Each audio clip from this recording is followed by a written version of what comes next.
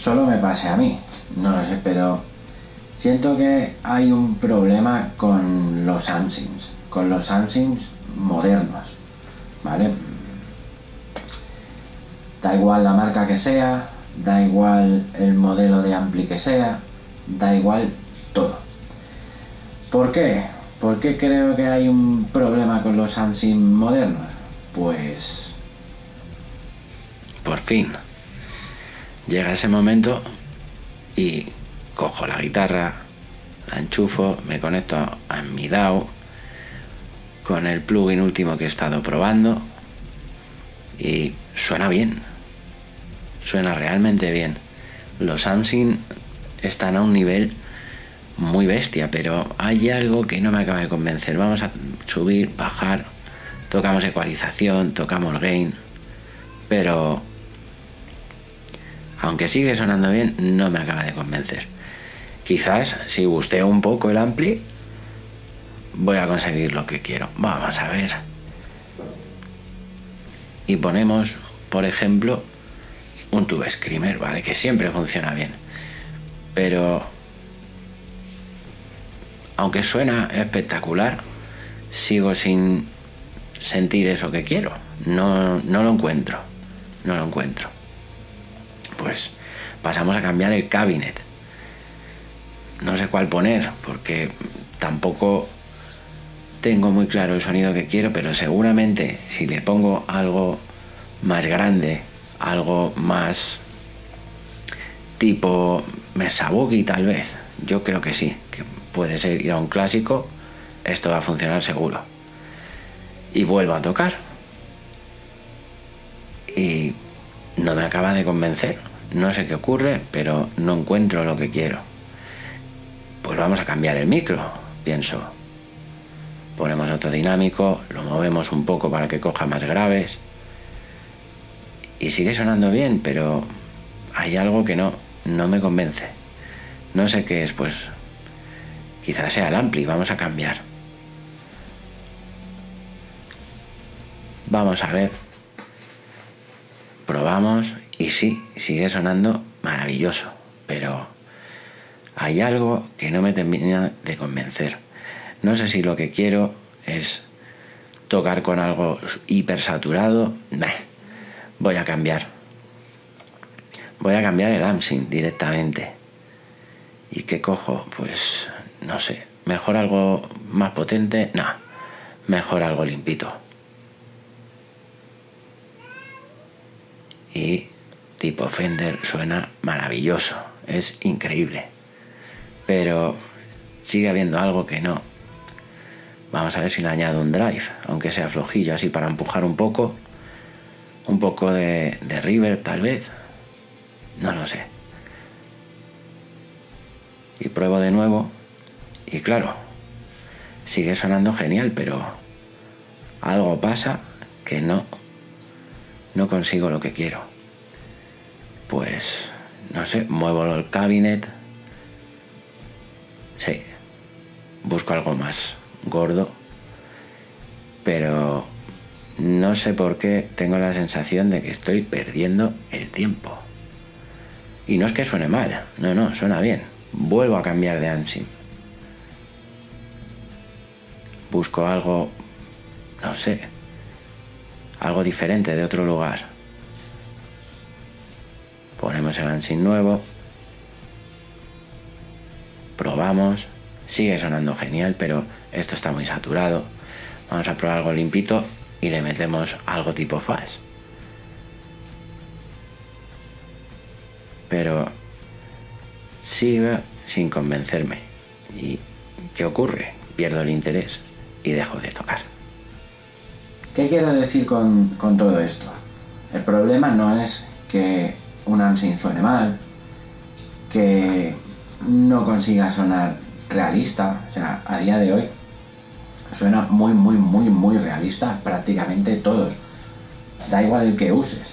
El problema que le veo es que al tener tantísimas opciones para poder configurar tu tono, ¿vale?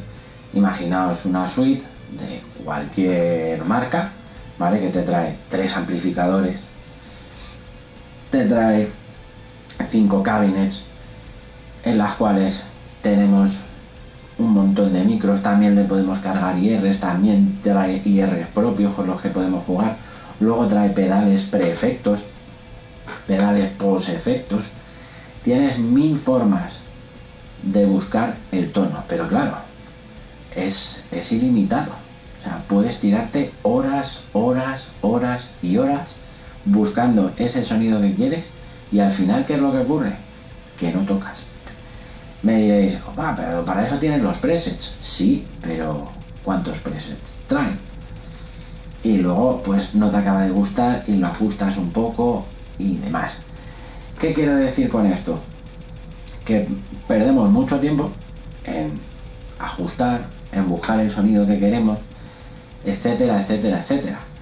Y al final no pasamos el tiempo haciendo lo que tenemos que hacer, que es tocar. Para eso te sientas delante del ordenador. No es lo mismo, por ejemplo, que tú con un amplificador. En un amplificador real tú llegas, te enchufas, encuentras tu sonido en un segundo y vas tocando. Sí que es cierto que vas a toquetear, que a lo mejor le pones un pedal y tal. Y puedes acabar en la misma red, sí. Pero mmm, veo más difícil que te pase eso con un amplificador real. No estamos hablando ni de que sea mejor, peor, tal. Lo que quiero decir es que hay veces que si realmente lo que quieres es tocar, lo único que necesitas es un AMSIN sencillo, sin mucha historia y que según te enchufes suene bien. Simplemente hablamos de practicar, no hablamos ni hacer una producción, no hablamos de buscar el sonido cuando has, grabado un tema, tal. Hablamos única y exclusivamente de tocar, de tocar la guitarra, de pasar el tiempo tocando la guitarra, porque no sean muchos, pero mm, yo no soy una persona que ahora mismo tenga muchísimo tiempo para tocar. Entonces, si consigo sacar media hora o una hora eh, al día o cada dos días y lo único que hago es ver cómo suena, al final no toco, no creo, no intento hacer riffs, no intento hacer canciones ni nada. Y así me pasa, que voy como el orto. Pero esto no quiere decir que lo que os decía, me reitero, que los Samsings estén mal, de hecho está genial que eso está así. Hablamos simplemente de eh, tocar, tocar la guitarra. También puede ser que te tires un tiempo mmm, buscando un preset, lo haces tal y ya es perfecto. Vale, de acuerdo. Pero a lo mejor te has tirado tres horas buscando eso y no has sacado nada. ¿Qué quiero decir con esto? Pues que estaría guay que aparte de la marca que todos os imaginaréis, que es Bogren Digital, que saca un ampli para que tú cojas, te enchufes, toques y punto, molaría que hubiese más opciones de eso en general.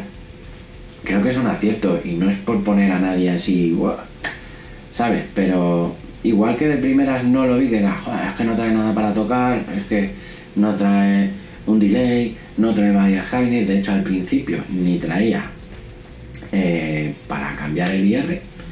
Pero bueno, luego pasado el tiempo me he dado cuenta que cuando lo que necesitas es tocar o lo que te apetece es tocar, pues algo así es súper funcional.